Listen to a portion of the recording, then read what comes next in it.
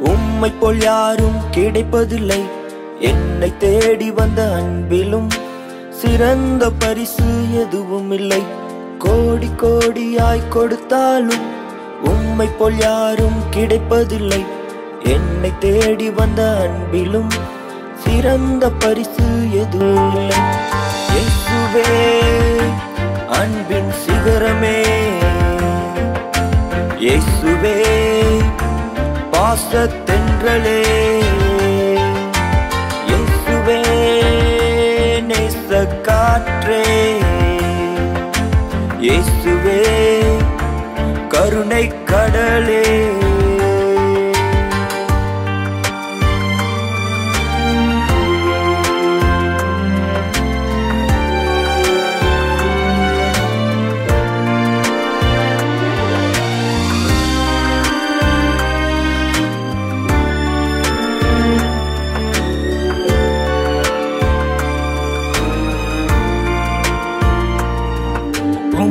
அன்பை விட்டு தூரம் சென்றேன்.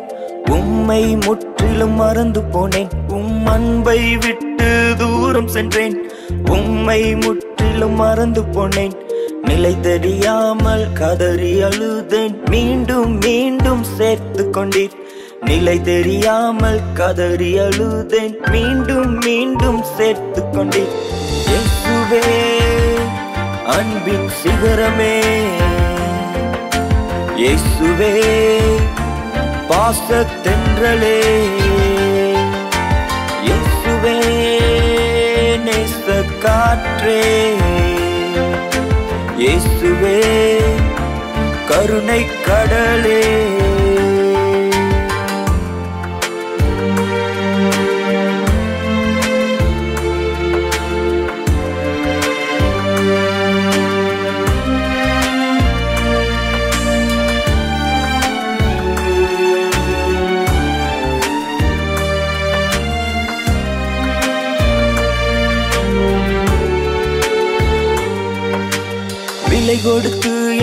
வாங்கிக் கொண்டீர். நீர் கொடுத்த விலைக்கு நிகரே இல்லை. விலை கொடுத்து என்னை வாங்கிக் கொண்டீர். நீர் கொடுத்த விலைக்கு நிகரே இல்லை. விலையேற பெற்ற ரத்தத்தால் விலை மதிப்பில்லா வாழ்வு தந்தீர். விலையேற பெற்ற ரத்தத்தால் விலை மதிப்பில்லா வாழ்வு தந்தி இயேசுவே அன்பின் சிகரமே. இயேசுவே பாசத்தென்றலே. இயேசுவே நேச காற்றே இயேசுவே கருணை கடலே. இயேசுவே அன்பின் சிகரமே. இயேசுவே பாசத்தென்றலே. இயேசுவே நேச காற்றே. இயேசுவே கருணை கடலே. கோடி கோடியாய் கொடுத்தாலும் உம்மை போல் யாரும் கிடைப்பதில்லை. என்னை தேடி வந்த அன்பிலும் சிறந்த பரிசு எதுவும் இல்லை. கோடி கோடியாய் கொடுத்தாலும் உம்மை போல் யாரும் கிடைப்பதில்லை. என்னை தேடி வந்த அன்பிலும் சிறந்த பரிசு எதுவும் இல்லை.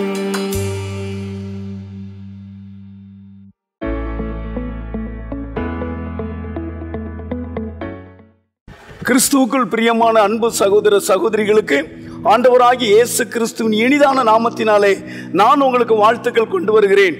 சுகமா இருக்கீங்களா? சந்தோஷமா இருக்கீங்களா? உங்களுக்கு நான் தேவனுடைய வார்த்தை கொடுக்கறதுல மிகுந்த சந்தோஷம் உடையவனாக இருக்கிறேன். யூடியூப் மூலமாய் கத்தருடைய வார்த்தையை கேட்டு ஆசிர்வதிக்கப்பட்டவர்கள் பலர் எனக்கு ஃபோன் மூலமாய் என்னை உற்சாகப்படுத்துகிறீர்கள். உங்களுக்கு நான் நன்றியை தெரிவிக்கிறேன். இந்த வாரமும் ரோமருக்கு எழுதின புஸ்தகம் நாலாவது அதிகாரம் பதினேழாவது வசனத்துல அந்த வசனம் இப்படி சொல்லுகிறது.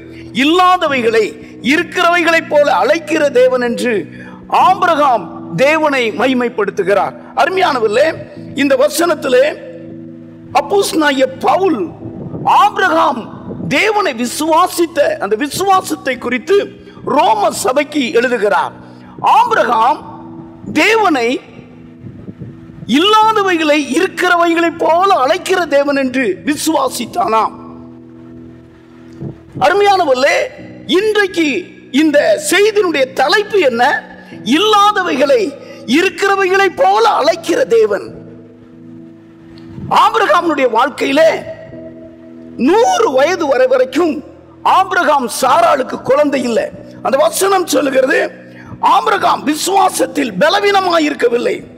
ஏறக்குறைய நூறு வயது உள்ளவனாய் இருக்கும் பொழுது ஆபிரகாமுடைய சரீரம் செத்ததையும் சாராளுடைய சரீரம் செத்ததையும் அவன் எண்ணாது இருந்தான் அருமையானவர்களே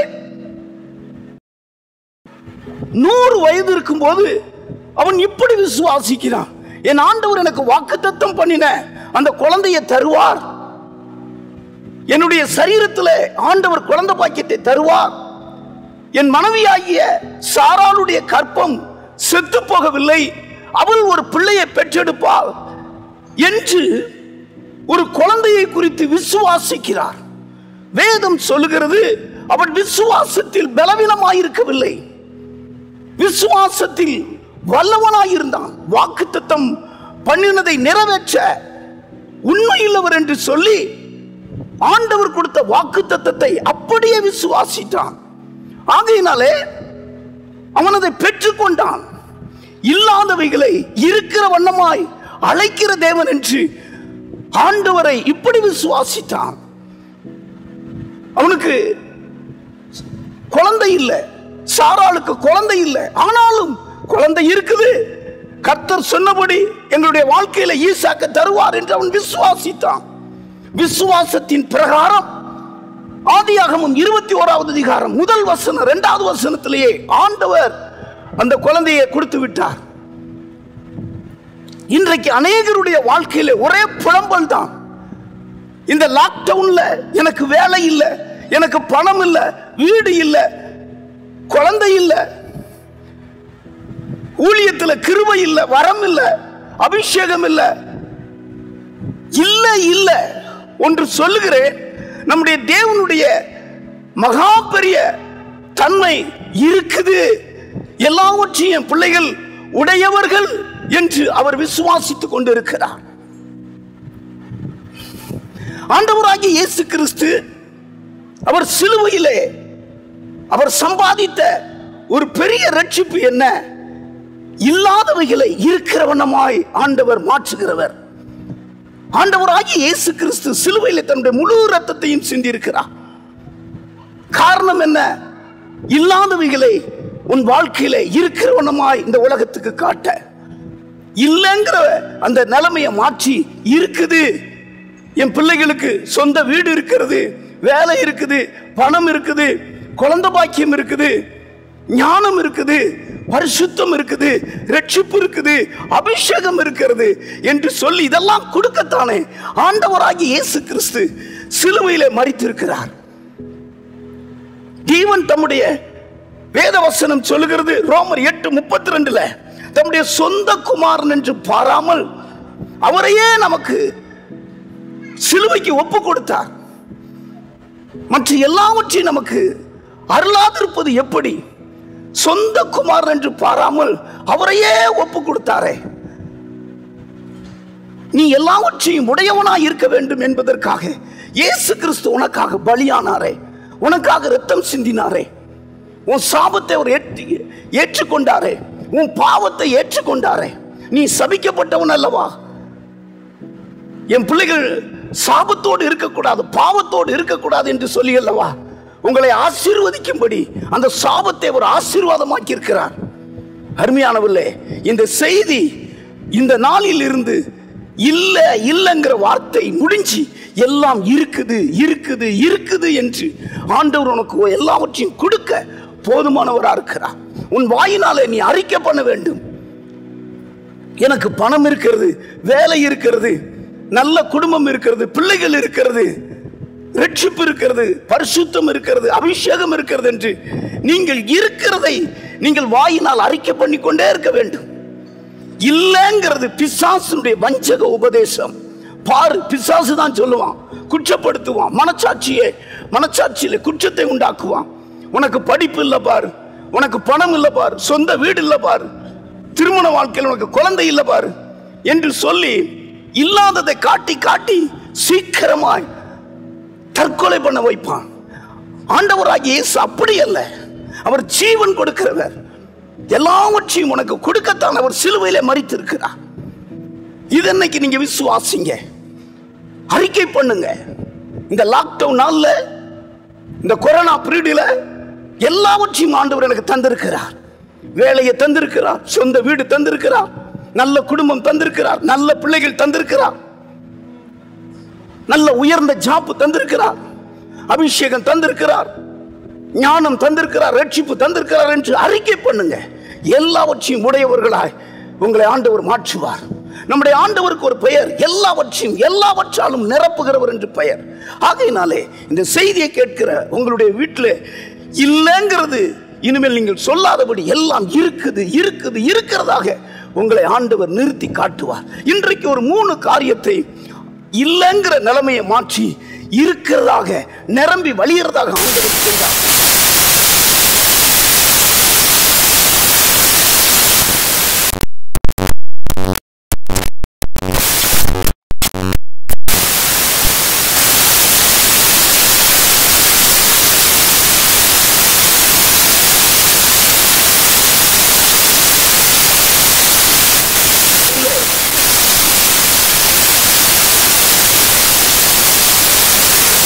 இருக்கிறது அது ஒரு படகை ஒரு படகுல ஆண்டவர் ஏறுகிறார். அது சீமோனுடையதா இருக்கிறது. சற்று ஆழத்துல தள்ளும்படி சொல்லுகிறார். வலையை போடுங்கள் என்று சொல்லுகிறார். அவர் சொல்லுகிறார்கள் ராம் முழுது பிரயாசப்பட்டு ஒன்றும் அகப்படவில்லை. பாருங்க ஒரு வெறுமையை சொல்றாங்க. அப்படி நீங்களும் சொல்லலாம் ஐயா நான் வேலை பார்க்குறேன். எனக்கு அந்த வேலைக்கு உண்டான பணம் இல்லை. எங்க வீட்டில் ஒன்றும் இல்லைன்னு நீங்க சொல்லலாம். ஆனால் ஒன்றும் இல்லைன்னு சொல்ல ஒன்றுமே இல்லை அப்படின்னு சொன்ன அந்த பேதுருனுடைய படகுல திரளான மீனை ஆண்டவர் கொடுக்கிறார். இந்த வசனம் சொல்லுகிறது ஆழத்தில் போய் வலைய போடுங்க அப்படின்னு சொன்ன உடனே திரளான அந்த வலை கிழிந்து போகும்படியாக திரள் மீன்களை ஆண்டவராகிய இயேசு அந்த வலையில விழச் செய்தார். உங்களுக்கு தெரியுமா? ஆண்டவராகிய இயேசு கிறிஸ்து ஏறுகிறதற்கு படகை பேதர் கொடுத்தார். அது மாத்திரமல்ல அந்த பே படகுல உட்கார்ந்து போதகம் பண்ணினாராம். பேதுரு சங்கட்டத்தில் இருக்கிறார். பேதுரு சோர்வடைந்து இருக்கிறார் ராம் முழுதும் மீன் பிடிக்க போய் ஒரு மீன் நம்முடைய வலையிலே விழவில்லை என்று வலையை அலசி கொண்டிருக்கிறார் அதே நேரத்தில் அந்த வலையில ஏராளமான மீனை கொடுக்கும்படி ஆண்டவராகிய இயேசு கிறிஸ்து விரும்புகிறார். உங்க வாழ்க்கையில பிரயாசப்பட்டு ஒண்ணு அகப்படலையா? ஆண்டவருக்கு இடம் கொடுங்க. அவர் போதனைக்கு கீழ்ப்படிங்க. இன்னும் கொஞ்சம் ஆழமாய் உங்க ஜெப வாழ்க்கை இருக்கட்டும். இன்னும் ஆழமாக துதி இருக்கட்டும். இன்னும் ஆழமாய் வேதவசனம் இருக்கட்டும். உங்க ரட்சிப்பை ஆழப்படுத்துங்க. உங்க விசுவாசத்தை ஆழப்படுத்துங்க. ஆழத்துல தள்ளி கொண்டு போய் வளைய போடுன்னு சொன்னார் அதற்கு கீழ்ப்படிங்க. இப்போ பாருங்க அந்த வலை நிறைய மீன். பிடிக்க முடியாத அதாவது இழுக்க முடியாத அந்த மீன் நிரம்பி வழிஞ்சது. இந்த ஆசீர்வாதத்தை ஆண்டவர் உங்களுக்கு தரப்போகிறார். ஒரு தகப்பனுக்கு ரெண்டு பிள்ளைகள் இருந்தாங்க. அந்த தகப்பன் அந்த பிள்ளைகளை ஆசீர்வதிக்கும்படியாக விரும்பினார். ரெண்டு பையங்களையும் கூப்பிட்டார். நான் உங்களை புத்தியுள்ளவனுக்கு என்னுடைய ஆசீர்வாதத்தை எல்லாம் தரப்போகிறேன். இப்போ நான் உங்களை சோதித்து பார்க்க போகிறேன். யார் புத்தியுள்ளவன் என்று சொல்லி பாருங்க பத்துக்கு பத்து ரெண்டு ரூம்பை காட்டினார். மகனே இந்த ரெண்டு ரூம்பு நான் கட்டியிருக்கிறேன். இந்த பத்துக்கு பத்து இந்த ரெண்டு ரூம்பை எல்லாவற்றாலும் நீங்கள் நிரப்ப வேண்டும். நான் வந்து பார்க்கும் பொழுது ஒரு இடமும் காலியாக இருக்கக்கூடாது. என்று சொன்னார். ஆனால் அப்படிங்களாப்பா அந்த ரூம்பை எல்லாவற்றையும் நாங்கள் நிரப்பிடுறோம்னு சொல்லி ஒரு மூத்தவர் ஓடி போய் இது ஈஸியான காரியம் அல்லவா என்று சொல்லி வைக்கோல் எடுத்து அந்த ரூம்பை ஃபுல்லாக நிரப்பிட்டார். இன்னும் ஒருவர் ஒண்ணுமே செய்யல. ரூம்ப அடைச்சி போட்டிருக்கிறார். அப்பா அடுத்த நாள் வந்தார். எல்லாம் நிரப்பிட்டீங்களான்னார். மூத்தவர் சொன்னார் ஓ நிரப்பிட்டேன்ப்பா. என்னை நீங்க தான் ஞானவான் என்று கண்டு எல்லா செல்வத்தையும் எனக்கு தரப்போறீங்க. தம்பியை பாருங்க ஒண்ணுமே செய்யல. ஏன் நீ நானும் நிரப்பிட்டேன்ப்பான்னு சொன்னார். இவரு அப்பா ரூம்பை திறந்து காட்டு அப்படின்னு சொல்றாரு. காட்டின உடனே ஒரு ரூம்பு முல்லா வக்கீலா இருக்கிறது. ஆனால் இன்னும் அந்த ரூம்பு நிரப்பப்படலை. இன்னும் ஏராளமான வக்கீல் அந்த ரூமுக்கு தேவை. ஆனால் அடுத்த ரூமுக்குள்ள போனார். அவர் சொன்ன நானும் எல்லாம் நிரப்பியிருக்கிறார். ரூமுக்குள்ள போன உடனே அப்பா கதவடைச்சார் ஒரு மெழுகுபத்திய இளையவர் பொருத்தினார். இருளாய் இருந்த அந்த ரூம் எல்லாம் வெளிச்சமாயிட்டு உடனே தகப்பனுக்கு மிகுந்த சந்தோஷம். பாருங்கப்பா எங்கேயாவது குறை இருக்குதா? இந்த ரூம் பூரா வெளிச்சமா இருக்கு பாருங்க. அருமையானவில்லை இதை நான் படித்தேன். இதை நான் உதாரணத்துக்கு எடுத்துக்கொள்கிறேன். இந்த வெளிச்சம் தான் ஆண்டவராகிய இயேசு கிறிஸ்து. இருளெல்லாம் வெளிச்சமாக்குறவர். யோவான் ஒன்னாவது அதிகாரம் ஒன்பதாவது வசனத்தில் உலகத்தில் வந்த எந்த மனுஷனையும் பிரகாசிக்கிற மெய்யான ஒளி இயேசுதான். இயேசுவை நீங்க ஏற்றுக்கொள்ளுங்க. இயேசு கிறிஸ்துவ நீங்க உங்க வீட்டுக்கு அழைத்து கொள்ளுங்க. உங்க வேலை ஸ்தலத்துக்கு அழைத்து கொள்ளுங்க. எல்லாவற்றையும் எல்லாவற்றால நிரப்புவார். அவரிடத்துல ஒரு மகிமையான ஒளி இருக்கிறது. அந்த ஒளி உன் முகத்துல பிரகாசிக்க செய்வார். உங்க வீட்டுக்குள்ள பிரகாசிக்க செய்வார். உன் உன் உனக்குள்ள இருக்கிற இருள் ஒரு செகண்ட்ல மாறும். உனக்குள்ள இருக்கிற உன் மனைவிக்குள்ள இருக்கிற உன் பிள்ளைகளுக்குள்ள இருக்கிற அந்த குறைவை கொண்டு வருகிற இருள் இல்லாம கொண்டு வருகிற இருள் ஒரு செகண்ட்ல மாறும். காரணம் இயேசு கிறிஸ்து சிலுவையிலே இருள் அடைஞ்சார். அவர் சிலுவையில மறித்துக் கொண்டிருக்கிற பொழுது ஆறாம் மணியிலிருந்து ஒன்பதாம் மணி நேரம் வரைக்கும் பூமி எல்லாம் இருள் அடைந்தது. உனக்குள்ள இருக்கிற இருளை இயேசு வாங்கி கொண்டார். ஆகையினாலே இயேசு கிறிஸ்துவுக்கு நீ இடம் கொடு. எல்லாவற்றையும் எல்லாவற்றாலும் நிரப்புவார். உன் வீடு எல்லாவற்றாலும் நிரம்பி இருக்கும். இல்லைன்னு சொல்றதுக்கு இல்லாதபடி எல்லாம் இருக்கிறதாக இருக்கும். ரெண்டாவது யோவானுக்கு எழுதின புஸ்தகம் ரெண்டாவது அதிகாரம் மூன்றாவது வசனத்தில் இயேசு கிறிஸ்துவனுடைய தாய் இயேசுவை பார்த்து சொல்லுகிறார். இவர்களுக்கு திராட்சரசம் இல்லை என்கிறார். பாருங்க காணா ஒரு கல்யாண வீட்டுல இயேசு கிறிஸ்துவும் இயேசு கிறிஸ்து தாயும் அழைக்கப்பட்டு இருந்தார்கள் யூதர்கள் கல்யாண வீட்டுல திராட்சரசம் நிரம்பி வழியக்கூடியது. ஆனால் அங்கு ஒன்றுமே இல்லை. திராட்சரசம் காலியாயிட்டு மரியாளுக்கு தெரிஞ்சது இயேசு கிட்ட வந்து சொல்றாங்க. என்ன செஞ்சார் தெரியுமா இயேசு? சுத்திகரிக்கப்பட்ட கற்சாடி அங்க இருக்கிறது ஒரு கற்சாடி ரெண்டு குடம் தண்ணி பிடிக்கும். ஆறு கற்சாடிய அதுல தண்ணீரை நிரப்ப சொல்றார். வேலைக்காரர்கள் தண்ணியை நிரப்புகிறார்கள். பந்து விசாரிப்புக்காரர்கிட்ட இப்ப கொண்டு கொடுங்கள்ங்கிறார். குடிச்சு பார்த்த உடனே அதை போல ஒரு ருசியுள்ள திராட்சை ரசத்தை இதுக்கு முன்னால் அவங்க குடிச்சதில்லை. கேட்காங்க இந்த திராட்சை ரசத்தை எங்க இது வரைக்கும் வச்சிருந்தீங்க?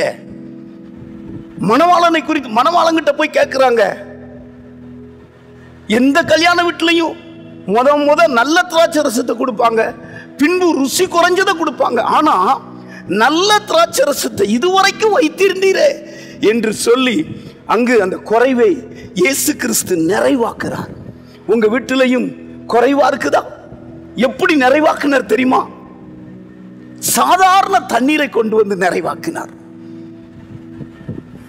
சாதாரண ஒரு தண்ணீர். நீங்க நினைக்கலாம். நான் எல்லாராலையும் தள்ளப்பட்டு எல்லாராலையும் வெறுக்கப்பட்டு நான் சாதாரணமா இருக்கிறேன். இல்ல. உங்க வாழ்க்கையில தான் ஆண்டவர் அற்புதம் செய்ய போகிறார். உங்கள் வாழ்க்கையில தான் அற்புதம் செய்ய போகிறார். உங்களை கொண்டு தான் அற்புதம் செய்ய போகிறார். உங்களை மேன்மைப்படுத்தும்படியாகத்தானே. இயேசு கிறிஸ்து அவர் வானத்தில் இருந்தவர் பரலோகத்தில் இருந்த இயேசு அதை கொள்ளையாடின பொருளா என்னாதபடி தன்னைத்தானே வெறுத்து அடிமையின் ரூபம் எடுத்து அதாவது சிலுவையின் மரண புரிந்தம் தன்னை தாழ்த்தினார். எதற்கு? உங்களை பிரபலம் உள்ளவர்களாய் மாற்ற. சாதாரணமாய் இருந்த தண்ணீரை ருசியுள்ள தண்ணீராய் கலர் மனம் ருசி மூன்றும் கொடுக்கிறதாய் மாற்றினார். உங்களுக்கு தான் குறைவுள்ளவர்களா இருக்கீங்களா? எனக்கு படிப்பு இல்லை எனக்கு அறிவில்லை. எனக்கு குடும்பத்தை நடத்த தெரியல சபையை நடத்த தெரியல என்று சொல்லி நீங்கள் ஒரு விதமான குறையுள்ளவர்களாக இருந்தா இன்றைக்கு அந்த குறையை நிறைவாக்குற ஆண்டவராகி இயேசு கிறிஸ்து இருக்கிறார். திராட்சரசம் இல்லைங்கிற அந்த கல்யாண வீட்டுல நிரம்பி வழியும்படி செய்தார். ஆண்டவராகி இயேசு கிறிஸ்து அவர் நிரப்புகிற தெய்வம். ஆண்டவர் ஒரு வீட்டுக்குள்ள இருக்கும் பொழுது எல்லா பொருளாதாரமும் நிரம்பி தான் இருக்கும். இயேசு கிறிஸ்து பரிபூர்ணத்துல வாழ்கிறவர். அவர் வந்துட்டாலே உங்க வீட்டுக்குள்ள உங்களுக்குள்ள வந்துட்டாலே குறைவு இருக்காது எல்லாம் பரிபூர்ணமா இருக்கும். அருமையானவர்களே ஒரு கிராமத்துல ஒரு செல்வந்தர் ஒரு விருந்து பண்ணினார். அந்த விருந்துக்கு ராஜாவை அழைத்திருந்தார். அந்த விருந்துல பொன் பாத்திரம் வெள்ளி பாத்திரம் வெங்கல பாத்திரம் மண் பாத்திரம் இருந்தது. அப்பொழுது அங்கிருந்த செல்வந்தர்கள் சொல்றாங்க இன்னைக்கு ராஜா வாரார் நம்ம விருந்துக்கு.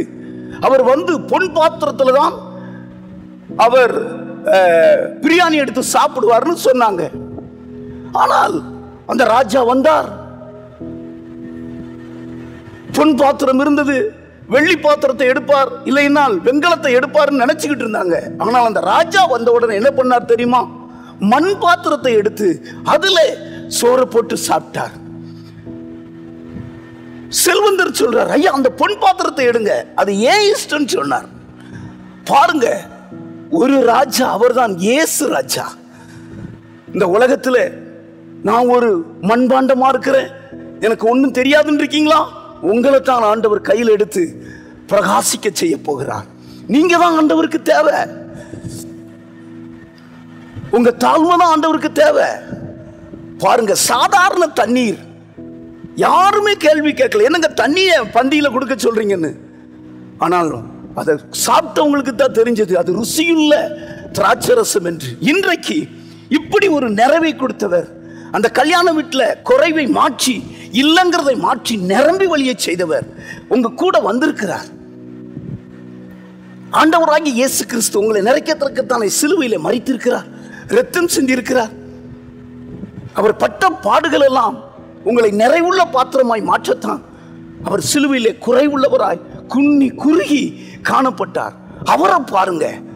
உங்க வீடுகளில் எல்லாவற்றும் நிரப்புகிற தெய்வம் இருக்கிறார். அவர்தான் இயேசு. அவரை பாருங்க. மூன்றாவது. யோவானுக்கு எழுதின புஸ்தகம் இருபத்தி ஓராவது அதிகாரம் அஞ்சாவது வசனத்துல இயேசு கிறிஸ்து மீன் பிடித்துக் கொண்டிருக்கிறவங்களை பார்த்து கேட்கிறார் பிள்ளைகளே சாப்பிடுறதுக்கு ஏதாவது இருக்கா? அவங்க சொல்றாங்க ஒன்றும் இல்லைன்னு சொல்றாங்க. இந்த இருபத்தி ஓராவது அதிகாரத்தை எடுத்துக்கிட்டீங்கன்னா சீமோன் பேதரு மற்ற சீசர்களையும் கூட்டிட்டு போய் மீன் பிடிக்க போயிட்டான் பின்வாங்கி போயிட்டான் பின்மாற்றத்தில் போயிட்டான். பின்மாற்றத்துல போயிட்டா ஏதாவது கிடைக்குமா? சாப்பிடுறதுக்கு இருக்குமா? இந்த செய்தியை கேட்கிற தேவ மகனே மகளே நீங்க ஒருபோதும் பின்வாங்க கூடாது ஒருபோதும் பின்வாங்க கூடாது அவங்க பாருங்க சாப்பிடுறதுக்கு இருக்கா இல்லைன்னு சொல்றாங்க. ஆனால் ஆண்டவராகிய இயேசு கிறிஸ்து உயிர்த்தெழுந்து மூன்றாவது முறை தரிசனமாகிறார். எப்படி தரிசனமாகிறார் தெரியுமா? கரி நெருப்புல மீன் துண்டை போட்டு வச்சிருக்கிறார். அப்பத்தை வச்சிருக்கிறார். பட்டினியா இருக்கிற பிள்ளைகளை கூப்பிட்டு ஆகாரம் கொடுக்கிறார். அவர்தான் இயேசு. மறுதளிச்சிட்டாங்களே நான் உயிர் தெழுந்ததுக்கு பிறகு மறுபடியும் அவங்க மீன் பிடிக்க போயிட்டாங்களே என்று சொல்லி ஆண்டவர் வருத்தப்படல கோபப்படவில்லை. அவர்களை பின்தொடர்ந்தார் அதான் இயேசுவின் அன்பு. உன் தகப்பனை காட்டிலும் உன் தாயை காட்டிலும் உன் சிநேகிதர்களை காட்டிலும் உன் உயிரை காட்டிலும் உன் மேல் அன்பு வைத்திருக்கிறார் இயேசு. அந்த அன்புக்கு ஈடு இது எதுவுமே கிடையாது. அந்த அன்பு தன்னை வேதனைப்படுத்தினாலும் மன்னிக்கக்கூடிய அன்பு. அருமையானவில்லை ஒரு யானை பாகன் அந்த யானைய வேகமா நடக்கிறதற்காக தன் கையில் இருக்கிற கம்புல ஆணி இருக்கும். கூர்மையான ஆணி வச்சு குத்துவான். குத்தும் பொழுது அந்த யானை வேகமாய் நடக்கும். ஆனால் அதே நேரத்தில் அந்த கம்பு ஒரு தடவை கீழே விழுந்துட்டு பாருங்க அந்த யானை தன் தும்பிக்கையினால எடுத்து அந்த பாகன் யானை பாகன் கையில கொடுத்தது. யானை நினைச்சா அந்த பாகன் கம்ப கீழே போட்ட உடனே தும்பிக்கையில் எடுத்து அடிச்சு நொறுக்கியிருக்கலாம். பாருங்க ஆனால் அதே யானை தும்பிக்கையிலிருந்து அந்த கம்பை எடுத்து அந்த பாகன் கையில கொடுக்குது. அவன் மறுபடியும் குத்துறான். இதுதான் அருமையான உள்ளே. இயேசு சிலுவையில செய்தது. நீங்க மறுதளிச்சிங்க நீங்க இந்த ஆண்டவராகி இயேசு வேண்டான்னு போனீங்க. ஆனால் அவர் உங்களை தொடர்ந்து தொடர்ந்து உங்களை பின்தொடர்கிற தெய்வம் அவர். உங்களுக்காகத்தான் அவர் சிலுவையில மறித்தார் உங்களை எல்லாவற்றாலும் நிரப்புகிறதற்குத்தான் அவர் சிலுவையில மறித்தார் நீங்கள் இந்த உலகத்தில் எல்லாவற்றையும் உடையவர்களாய் நிரம்பி வழிகிறவர்களாய் தலை சிறந்தவர்களாய் நீங்கள் ராஜாக்களாக ஆசாரிகளாக இருக்க வேண்டும். அந்த நோக்கத்துக்காகத்தான் இயேசு கிறிஸ்து மறித்து உங்களை வெற்றி சிறக்க பண்ணுகிறதற்கு அழைக்கிறார். இந்த வேலையிலே இல்லாதவைகளை இருக்கிறவனமாய் அழைக்கிற தேவன். ஆகையினால தான் அவர் சிலுவையிலே உனக்காக எனக்காக மறித்தார் கண்களை மூடி நம்ம எல்லாரும் செபிப்போம். எங்கள் பரலோக தகப்பனே இல்லாதவைகளை இருக்கிறவனமாய் அழைக்கிறவரே என் பிள்ளைகளுக்கு இந்த செய்தியை கொடுக்கணும்னு என்னை ஏவுனீங்களே அப்பா. ஆண்டவரே என் பிள்ளைகளுடைய வாழ்க்கையிலே பணம் இல்லை ஆண்டவரே. ஆண்டவரே வீட்டில் ஒரு பொருள் இல்லை ஆண்டவரே சமாதானம் இல்லை ஆண்டவரே. நீர் எல்லாவற்றையும் கொடுப்பீராக. ஆண்டவரே எங்கள் பிள்ளைகளுக்கு இந்த நேரத்தில் வேலை வாய்ப்பை கொடுப்பீராக. திருமணங்களை உண்டாக்குவீராக. குழந்தை பாக்கியத்தை கொடுப்பீராக. ஆண்டவரே சொந்த வீடை கொடுப்பீராக. செல்வத்தை கொடுப்பீராக ஆண்டவரை ஞானத்தை கொடுப்பீராக அபிஷேகத்தை கொடுப்பீராக. ஓ ஹalleluya. ஆண்டவரே வேத வசனத்தின் அர்த்தத்தை இவர்களுக்கு சொல்லி கொடுப்பீராக பரிசுத்தத்தை கொடுப்பீராக. இல்லை இல்லைங்கிற என் பிள்ளைகளுடைய வாழ்க்கையிலே எல்லாம் இருக்குது எல்லாம் இருக்குது எல்லாம் இருக்குது என்று இனி இவர்கள் அறிக்கை பண்ணுவார்களாக. என் தகப்பனே ஓ ராமுழுது பிரயாசப்பட்டு ஒன்று அகப்படாத அந்த வலையிலே திரளான மீனை கொடுத்து அவனை இருக்கிறவனமாய் மாற்றின தெய்வம். அப்பா நீர் அப்படியே என் ஜனங்களை செய்வீராக. திருமண வீட்டில் திராட்சரசம் இல்லைன்னு சொல்லும் பொழுது வெறும் தண்ணியை திராட்சரசமாய் மாற்றி ஆண்டவரே ருசியும் கலரும் மனமும் உண்டாகி அந்த கல்யாண வீட்டை நிரப்புன தெய்வம் எல்லாவற்றையும் உடைய மனவாளனாய் மாற்றின தெய்வம் என் ஜனங்களுக்கு அப்படியே செய்வீராக. மறுதளித்து போன ஆண்டவரே சீசருடைய வாழ்க்கையில புசிக்கிறதுக்கு ஒன்றும் இல்லைன்னு சொல்லும் பொழுது ஆண்டவரே நீர் அவர்களுக்கு கரி நெருப்புல ஆண்டவரே அவர்களுக்கு மீனை ஆயத்தம் பண்ணி அப்பத்தை ஆயத்தம் பண்ணி வயிறார வயிறு நிரம்ப நீர் அவர்களுக்கு ஆகாரம் கொடுத்தீரே அப்பா. நீர் எவ்வளவு அன்புள்ள ஆண்டவர். நாங்கள் மறுதளித்து போனாலும் பின்வாங்கி போனாலும் எங்களை பின்தொடரதை பின்தொடர்கிற ஒரு இயேசு சிலுவையில் உங்க ரத்தத்தெல்லாம் வடித்தீரே ஆண்டவரே. ஆண்டவரே அதை நாங்கள் நினைக்கிறோம் அப்பா. எங்கள் பாவங்களை மன்னிப்பீராக எங்கள் குற்றங்களை மன்னிப்பீராக எங்களை ஆசீர்வதிப்பீராக. இந்த செய்தியை கேட்ட என் பிள்ளைகளுடைய வாழ்க்கையிலே சமாதானம் இருப்பதாக செல்வம் இருப்பதாக அபிஷேகம் இருப்பதாக பரிசுத்தம் இருப்பதாக விடுதலை இருப்பதாக சுகம் இருப்பதாக ஆரோக்கியம் இருப்பதாக எங்களை தாழ்த்துகிறோம். இயேசு கிறிஸ்துவின் மூலம் ஜெபிக்கிறேன் பிதாவே. ஆமேன் ஆமேன். அன்பார்ந்தவர்களே நமது ஹெவன் டிவியில் ஒவ்வொரு வாரமும் வெள்ளி மற்றும் சனிக்கிழமைகளில் காலை எட்டு முப்பது மணிக்கு நமது ஐபிஏ ஜெப ஆலயத்தின் துதி ஆராதனை செய்தி மற்றும் சாட்சிகளை காண தவறாதீர்கள். அன்பார்ந்தவர்களே ஒவ்வொரு ஞாயிற்றுக்கிழமையும் ஏராளமான ஜனங்கள் நமது ஆலயத்திற்கு வந்து விடுதலை சுகம் ஆசிர்வாதம் மற்றும் சமாதானம் பெற்று செல்கின்றனர். நம் சபையின் ஆராதனை ஒழுங்குகள். ஒவ்வொரு ஞாயிற்றுக்கிழமை தோறும் முதல் ஆராதனை காலை ஏழு முப்பது மணிக்கும் இரண்டாம் ஆராதனை காலை பத்து மணிக்கும் மூன்றாம் ஆராதனை மாலை ஆறு முப்பது மணிக்கும் நடைபெறும். முதல் ஆராதனையை நீங்கள் நேரலையாக சபையின் யூடியூப் வலைதளத்தில் உள்ள ஐபிஏ சர்ச் கிணத்துக்கடவு சேனலில் உலகத்தின் அனைத்து பகுதிகளிலும் இருந்து பார்த்து பயனடையலாம். ஒவ்வொரு மாதமும் மாதத்தின் முதலாம் தேதியன்று எண்ணெய் பூசி சுகமளிக்கும் வாக்குத்தத்த ஆராதனை அதிகாலை ஐந்து மணிக்கும் காலை பத்து மணிக்கும் நடைபெறும். ஒவ்வொரு மாதமும் இரண்டாம் வெள்ளிக்கிழமையன்று திறப்பின் வாசல் முழு இரவு ஜெபம் இரவு பத்து மணிக்கு நடைபெறும். ஒவ்வொரு மாதமும் மூன்றாம் வெள்ளிக்கிழமையன்று கட்டுகளை அவிழ்க்கும் உபவாச ஜெபம் காலை பத்து மணிக்கு நடைபெறும். எங்கள் சபை ஆராதனையில் கலந்து அழைக்கிறோம். எங்களது முகவரி ஐபிஏ ஜெப ஆலயம் சர்வம் தேட்டர் பின்புறம் Pollachi main road Kinathukadavu. Six four two one zero nine ஜெப உதவிக்கு pastor E Jeyaraj nine double four three four three five six one eight nine four triple eight seven three two eight four முன்ன பின்ன தெரியாது.